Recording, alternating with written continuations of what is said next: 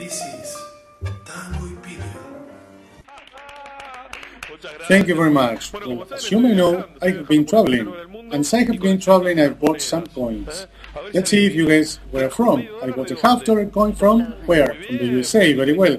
And you are an intelligent audience. I bought a Mexican coin from Mexico, great. And the Chinese coin, I bought it here in Chinatown. Can you check them? Are they real coins? So now let's see. I'll give you the ones, and you will do magic, not me. Mexican coin, Chinese coin, and the half dollar, okay? I'll take out one of these coins from my pockets, and I'll take it to my pocket, and you will have to guess which one I have taken. I'll do it fast. I take out a coin, I take it to my pocket. Which coin have I taken out? The half dollar coin, very well. I think I haven't done it so fast. If you could see it, I'll do much faster this time. Let's see. I take the Mexican coin and Chinese coin to my right hand. Which coin do I have in my left hand?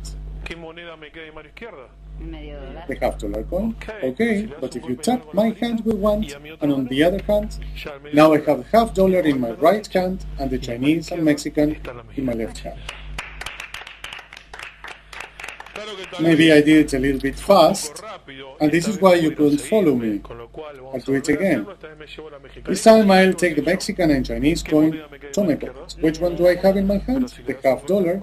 But if you tap my hand, the half dollar coin turns into a Mexican and Chinese coin, and the half dollar is in my pockets. Chinese, Mexican, and half dollar coin. Okay? You are a bit confused, aren't you? Let's do it one more time. I'll pick up the half dollar coin with my right hand, but now I have the Mexican coin and Chinese coin here, and half dollar coin in my left hand, okay? Let's finish with it because I see you are getting a bit bored. I'll pick the half dollar coin and I'll put it in my pockets. But what happens if you tap my hand? What happens? The half dollar coins goes back to my left hand and I have the Chinese and Mexican coin in my pockets. Can you check? Do it thoroughly.